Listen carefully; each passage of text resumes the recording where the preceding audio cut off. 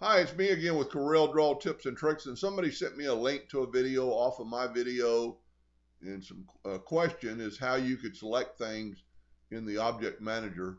I don't really think there's a better way than just select them on the page, but if you open the Object Manager, and I don't know if it always works out, but everything's together. Well, there's no way to just like encompass all these like you could here and then you could just to me just hold down the you know the shift key and then just hit do this. I guess you could make sure you've got all your circles.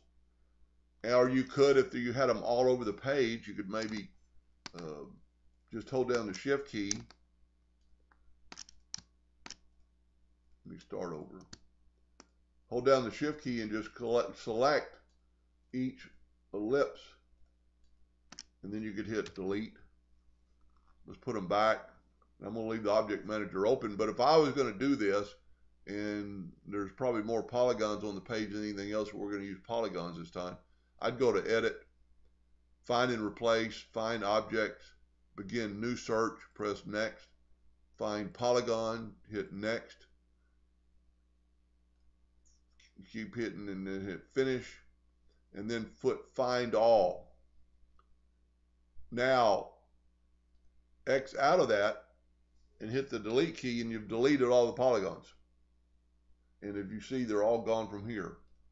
So we can back up there and, uh, you know, I guess you could you know, make them all blue or color fill them all blue at the same time.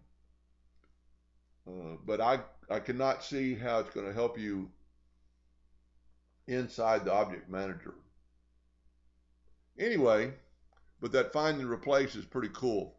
It'll work with most shapes or even fills. I've done quite a few videos on those.